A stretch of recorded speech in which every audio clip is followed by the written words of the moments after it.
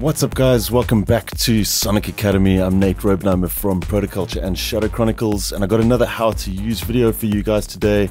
We are checking out Steinberg's brand new Backbone plugin. It's a drum resynthesizer slash sampler that does a whole bunch of cool stuff. Let's dive in and check it out.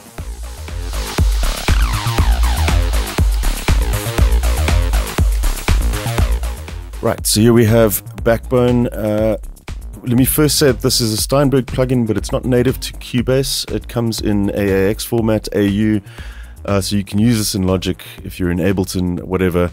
Um, it's not limited to Cubase users.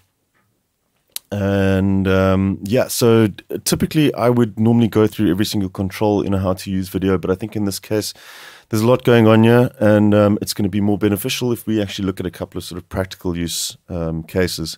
So I'm going to very quickly run through the basic operation of this and the layout, and then we'll kind of dive in and edit some samples. So you've got a load page up at the top here. You can bring up the library. Uh, you have a choice between programs and layers.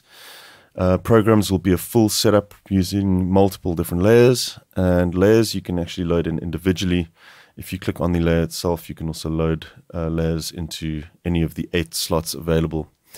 Um, everything is drag and drop compatible as well. So what I'm going to do to start off with is just bring in a drum sample from Sonic Academy's Ultimate Drums 1. I'm going to grab a dubstep snare and let's just bring that in. Right, so now you see we've activated all our modules here. We've got the um, sample editor over here, the resynth, pitch module, filter module, and amp module. The If you click on any of these, you'll get a sort of expanded view. The sample editor, we can turn off the loop over here. You have various options here uh, for trimming your samples, setting up loops, etc. Uh, this will be quite familiar if you've used Groove Agent or Halion um, or even the Cubase sampler that's built in.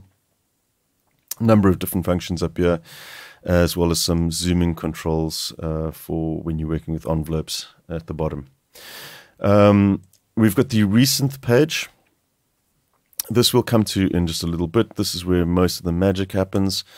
Um, then you also have some typical sampler modules. You've got a pitch module, uh, a pitch envelope. You can change the envelope amount. You've got sort of a global um, envelope uh, amount that you can adjust the entire envelope. As I said, some zooming controls that will zoom in, and you can enable the waveform display as well over there. Uh, same goes for the filter section. Here, you've got a couple of different filter models that you can select from. You've got some distortion algorithms as well and then your the similar controls. These are all pretty self-explanatory, and obviously an envelope control as well for that. And then your gain section or your amp section. Uh, yeah, you should just take note of the FX routing. We'll come to that in a bit, but you can route between bus one and two, and you have some uh, controls for width, panning, etc. Again, an uh, envelope control here, and you can set up your envelope in this window. Clicking over here will take you back to the sort of main section.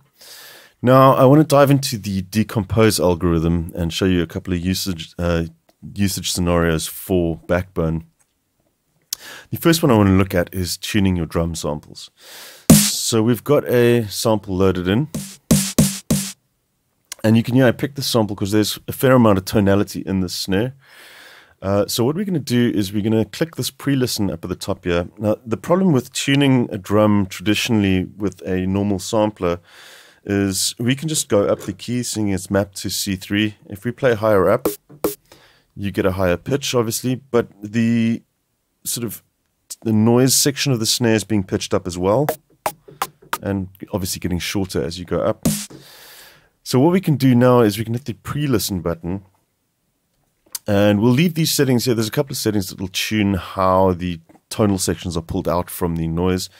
And this is all coming from the SpectraLayers technology that Steinberg does, um, but they've kind of put it into a really easy, usable format for you. Um, we can now solo the tonal aspect, and we can solo the noise. Now this is going to require a little bit of tweaking here. Uh, let's just try and get that sort of punch from the tonal side.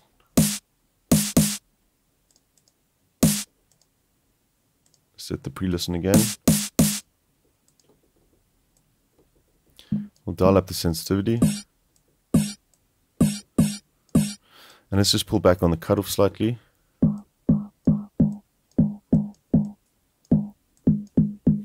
So there's kind of the, the tonal section that I'm really wanting to tune. Is that sort of like almost tom kind of sounding sine wave pop that we've got there. So now that I'm happy with that, uh, we can unsolo that. There's our snare again, and we're going to hit apply. So apply decompose will split the two into separate layers so we can edit them individually. So if we mute this one now, that's the noise section. We've got just the tonality. We can solo the noise. Cool. So now we're still pitching up the noise when we're moving up the scale, but what I'm going to do is on the noise uh, layer, we're going to go grab the pitch section and we're going to turn key follow all the way down. So if we solo this now, playing different keys has no effect on the noise at all. But seeing as key follow is still enabled on the tonal section, we can now tune the kick drum uh, or the, the snare drum to whatever key we want without affecting any of the noise at all. Uh, furthermore, if you look on the sample editor for the tonal section, you can click on this pitch analysis tool here, and it's going to find the pitch uh, for this tonal part of your snare drum. Um, now, this is currently mapped to C3, as you see here. If you want to actually map that to its proper key, you can actually click this little button and it will move it to the C3 range, but in the correct key. So let's do that, and we'll see it's now on G sharp 3. So G sharp or, or A flat is going to give us the original sound that we had. Now, let's say we wanted to write a track in E flat. All we need to do is play in E flat, and the tonal section is perfectly in tune with E flat, but it's left the noise component completely alone.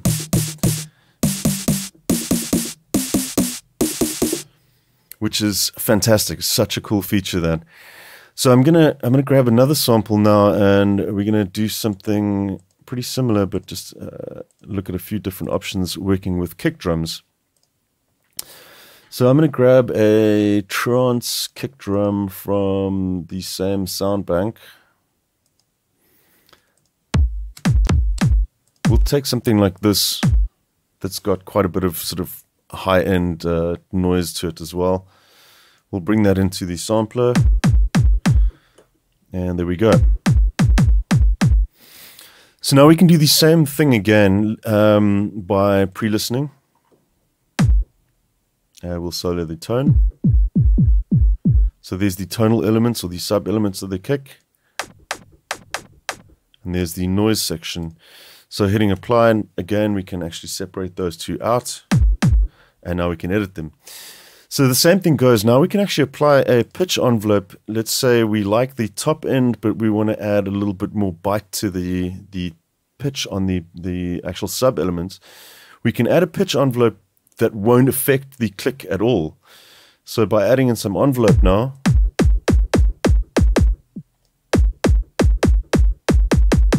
we've got a far more punchy kick, but we've still got the still got the top end and the noise elements intact. Let's just turn off the looping for this again. Now, when you're working with these sub elements, you're still working with a waveform. Uh, so, what I prefer to do with these sub elements is to use Sonic Academy's own Kick 2 um, drum synthesizer. Now, there's an excellent way of using the two of these together, and I'm going to show you that now. If we mute our uh, tonal element. I'm going to just move this out the way and bring in a copy of Kick 2. And I've got the default patch loaded, uh, but I've removed the click samples from, um, from this patch. So with the uh, the noise element from this soloed, I'm going to use the export function from Backbone to get it into Kick 2. And it, this is it's really quite clever. You do have an export. Uh, you can bring up an export window that you can define where you want to export the files to, but you also have this little button. Um, you got some export settings as well, 24-bit, whatever. You can uh, dial that in as you see fit, uh, which key you want to export, etc. Um, but this little arrow button here, all you need to do is click that, drag that into Kick 2 and when we jump back into kick two, you'll see now that we have the click sample that we've extracted from that original kick drum that we had in Backbone. And we've now placed it inside of kick two. So all we have to do now is jump into the pitch envelope for the sub element and we can we can sort of resynthesize a or synthesize a sub element for that click the way that we see fit. And obviously Kick 2's got some great features, you know, being able to lock nodes to keys, etc. And also remember, this is synthesized, so you can drag out your kicks a lot longer. Uh, you're not going to get any degradation by stretching out samples and so on. So just it's a dream come true being able to switch between the two so quickly uh, to really get sort of maximum control over your kick drums. There are a couple of other cool things that you can do though with Backbone, uh, even when the sub elements are being used. Let's say, for example, your sub element is maybe a little bit too short. There's a really nice little feature using the resynthesis module, uh, which we haven't looked at yet. I'm going to bring back the sample endpoint to somewhere here where we've got quite a bit of tonal stuff happening. We've got this nice sort of sine wave. That's where a lot of the tone of the kick is coming from. So you can see we've shortened it up quite a bit now. Now let's jump into the resynthesizer part. And what this is going to do is it's going to uh, extract all the harmonics that you can play around with harmonics and, and, and so forth. Uh, you can change the speed of the sample. Uh, the purity, you'll basically shift it more uh, to sort of atonal sounds. Pushing that up will make it more sort of pure sine wave kind of sound. So you can play around with these settings as you see fit. Uh, but what I wanted to show you here, now that we've shortened this kick sample, you can use the spectral hold um, button over here. If we turn that on, and let's go and adjust our amp envelope, let's just drag this out and watch what happens.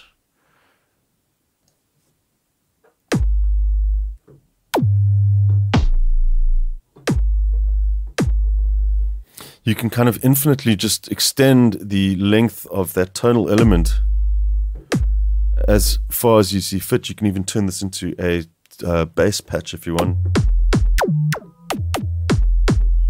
Seeing as it actually follows the key tracking as well. So a really cool little feature that as well, especially if you're working with sort of like 808 kicks and things, if you want to extend them out further. It's a really, really clever little tool to be able to use on your kick drums.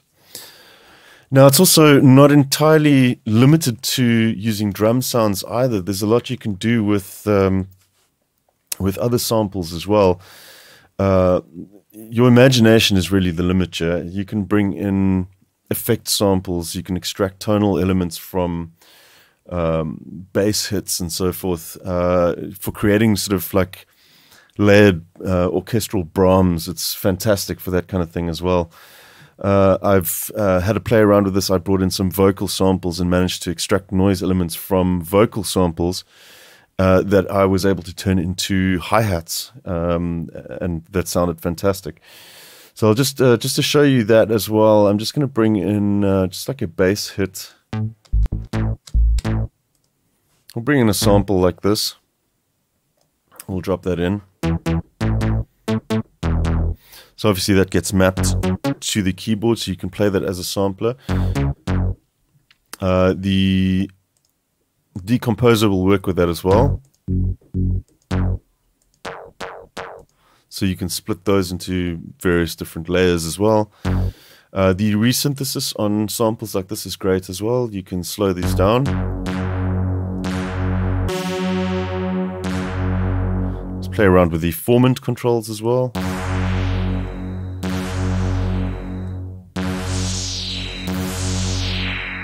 So you can really kind of shape those sounds into something new. Uh, from the gain page, you can click sustain, and uh, we'll just check our envelope. We'll bring this back so we have a short release. So now you can play it more like a synth patch. And also, if you jump into the main section, you have some settings here for various key mapping options and so on. You'll notice it's currently playing in mono. Um, in the pitch section, you can turn on a, a glide option. Or in the settings section here, you'll notice if you disable the mono, you actually get a polyphony amount that you can set here. And now you can play the patches polyphonically. So you really can go to town with different uh, sounds. Um, one last little thing for kind of creating sweep effects, for example, uh, we'll load up a effects patch from uh, Ultimate Effects from Sonic Academy, and let's grab. We'll grab an impact.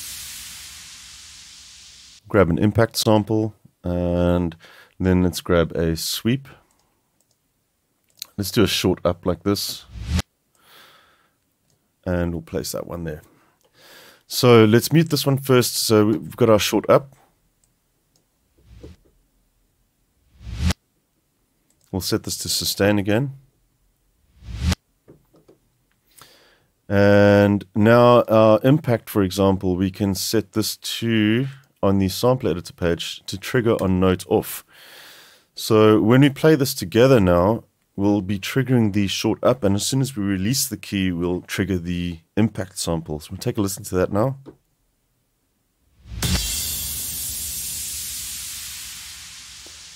So fantastic way to create sort of big effect sweeps and so on. You can layer these up as much as you want and trigger them from either the notes off or the notes on. Uh, things can be reversed from your. Uh, really can go to town with um, how you edit these these samples. Um, and like I said, obviously the load, you've got quite a lot of different. If we load up a program, you'll see there's quite a number of examples like this. Let's take cinematic, for example. We'll load a cinematic patch, and yeah, you've got sort of tonal, noise, and slam elements.